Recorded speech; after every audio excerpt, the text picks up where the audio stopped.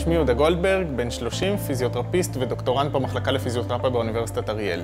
במחקר שלי אני בודק את מנגנוני הפעולה של פעילות גופנית על מערכת החיסון ועל המוח במודלים של מחלות נוירולוגיות.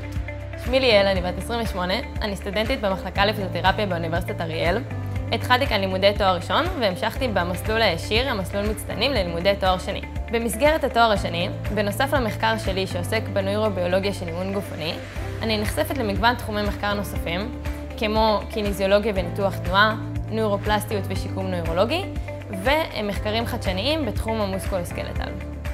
אני מאמינה שיש קשר הדוק אה, בין הקליניקה לבין המחקר בעולם הפיזיותרפיה. בתואר השני אני מקבלת כלים לראייה רחבה ומעמיקה יותר של תחום המחקר, שמאפשרים לי להיות מטפלת וקלינאית טובה יותר.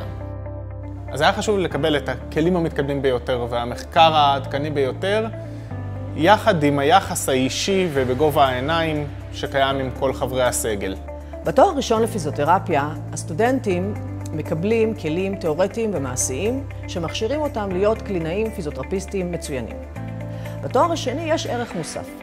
בתואר השני הסטודנט רוכש ידע וכלים מתקדמים יותר, וכבר מתחיל לפתח מחקר ופרויקטים חדשניים ומקוריים. הדבר הזה מאפשר לו להפוך לאיש מקצוע מוביל בתחומו. ובנוסף לזה, הוא יכול להשפיע לא רק על המטופל האישי שלו, אלא על התפתחות המקצוע ככלל.